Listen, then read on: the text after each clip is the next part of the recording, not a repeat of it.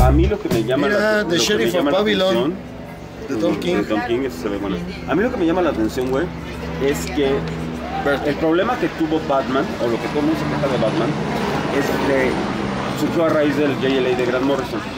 Porque Grant Morrison es el que hace al Batman o todopoderoso. Al Batidios. Bueno, es- ese es el, antes, al- del antecesor de su No, Batidios. desde el, Pero desde el primero, güey, desde el número uno del Justice League, del New World Order. El güey llega y así que, ay, estamos esperando a Batman, que sale Batman atrás, llevo aquí una hora, güey. Así que, ay, yo no te oí, ah, el gadget sí funciona. O sea, es, Grant Morrison es el que hace a Batman inmenso. Pero, pero también ahorita este, acaba de terminar este, lo, lo del, Sí. lo del, ¿cómo se llama? Lo del nuevo eh, arco, o sea que está finalizando el de Jeff Jones, también es Batidios. Literalmente está Pero- en la silla de metro. No, pero a lo, a lo que voy es que esa, Entonces, esa tendencia de hacer a. Batman Tan cabrón. es de Grant Morrison. Sí, sí. Él, él empezó. Él ajá. empezó y acaba de terminar igual y como dices sí está muy interesante lo que plantea Hitch. Porque acá, es, plantea. porque acá es Superman de que, a ver, güey, a mí ya me mataron. Tú eres nuevo en este universo, güey. A mí ya me mataron, ya reviví, ya maté a Doomsday, ya... Ya hasta tengo hijo. Ya, ya sobreviví a todo el Final Crisis y... eh, muy- eh, ¿Qué es? Es Infinite Crisis, eh, Crisis no es, no es el de Crisis on Infinite Earth, ya quedamos, ¿verdad? O sea, yo ya sobreviví a Final Crisis, ya sobreviví a Convergence, ya sobreviví a Doomsday. O sea, tengo 10 años más trabajando en el Daily Planet, yo ya tengo toda la Tu experiencia. papá me ayudó a tener al hijo. Tu papá me ayudó a tener al hijo, güey. Ah, caray. Sí, a, ver, otra vez, explica eso. a que mi mujer pariera. Ah, A que mi mujer pariera. Ajá. Di la luz. Exactamente. Porque trabaja No, sí en la compañía de la, güey, sí de les la, ojito. de- de la CFE, güey. La luz. Tendrá Un bulbito. Este, pero a mí eso sí me llama la atención, ver qué tanto, qué también maneja la dinámica de un Superman ya con experiencia. Harta experiencia. Lo tiene contra que un Batman de bájale tres rayitas. No, yo creo que por fin vas a bajar y vas a equiparar. No, yo no. Porque Batman es tan cabrón que le Sí, va a dar sí, vuelta. sí, no, no sé, ya, ya bájenle. Además, Dos el rayitas. Batman empezó a operar antes que Superman. En eh, 52. También es doctor. Sí.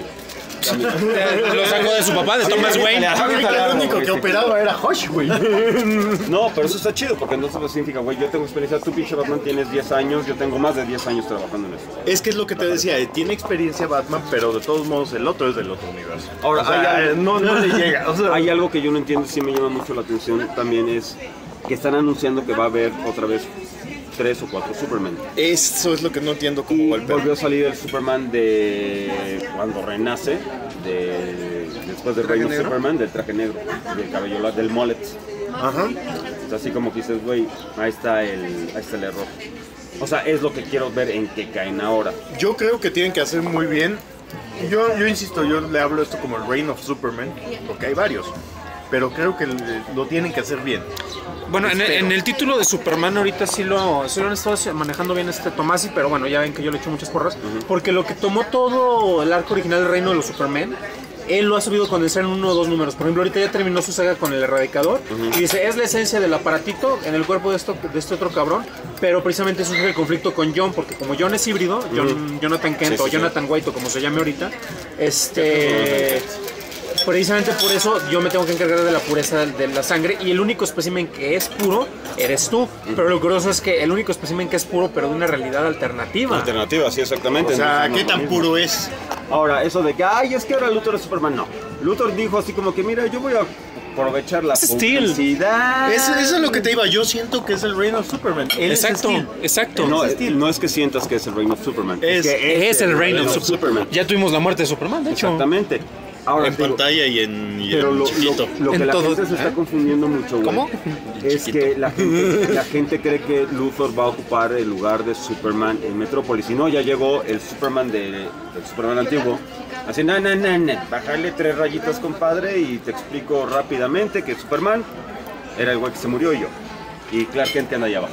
Ahorita, ahorita lo que mencionaba sobre la interacción con la liga, eh, bueno, ya hay interacción directa del del presidente entre este Superman, el llamémosle el original o el Prime previo, el Prime previo me gusta, eh, con Wonder Woman. Prime Preview. Entonces, con ellos, ahí ya tienes la entrada presente para la, la Justice League. Tienes el balance de que quien confíe, con quien ya se ha- es- le ha demostrado y le ha confiado que tiene familia y todo eso, es precisamente con Wonder Woman. Y el factor de desconfianza es con Batman. Que también ya en, los, en el número 2, precisamente creo que de Justice League, es donde está la cuestión de, pues lo necesitamos este güey, voy a echarle el grito. Y ya se había planteado desde antes, creo que en el de, Sí. lo, lo- lo necesito cerca porque no confío en él. En el sí es así de que, perdón. En el este, reverde es donde lo dicen. Sí, a este güey no lo conozco. Ah, Es- como quieran. Oye, Le Superman, sí está poca ¿cómo le madre. confías en él? No.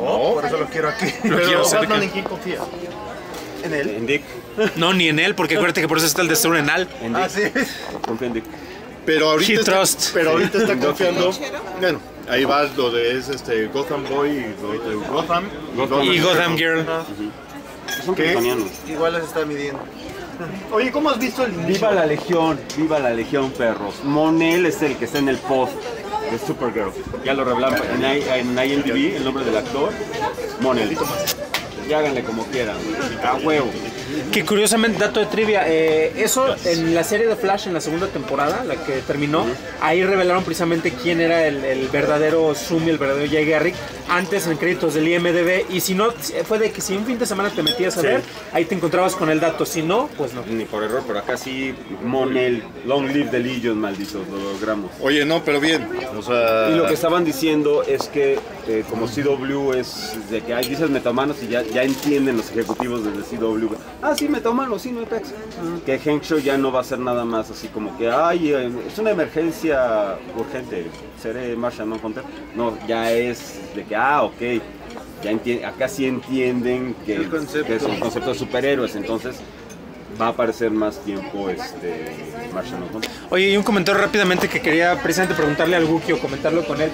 No les vamos a hablar de Suicide Squad hasta la siguiente semana, pero un pequeño detalle, porque en la justificación de la creación del Suicide Squad se dice de que tenemos que ser un equipo de metahumanos. ¿Y cuántos metahumanos hay en ese equipo, Wookiee? Uno. Exacto. ¿Dónde está eso de que para combatir metahumanos vamos a juntar metahumanos? ¿Quieres ser metomano Killer Croc? Diablo. El diablito. O sea, el diablo sí se ve que es, que es metomano, güey. O Pero sea, es el... por eso. No, Enchantress es- está Enchantress es poseída. Está- se forzaron en ella. Es magia. Creo que es una deformación y la neta cuando lo ves al final sí es una No deformación. le digas tan gacho a cara de Levin. Es que sí me la ponía, güey. pero- Hay tomas donde sí, hay tomas donde. No la he visto, güey, entonces no, no puedo decir nada. Sí me la daba, ¿no? Pues es cara de Levin, sí me la ponía, güey. ¿Cómo no?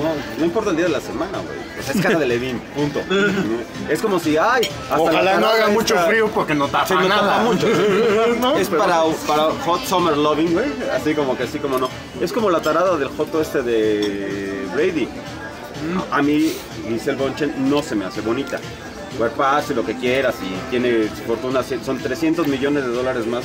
Harta su lana. marido. Pero no, está bonita, pero dices, güey, es Giselle Bonchen, claro que me la pongo cualquier día de la semana, no tengo ninguna bronca. Sí, no, claro. Entonces, güey.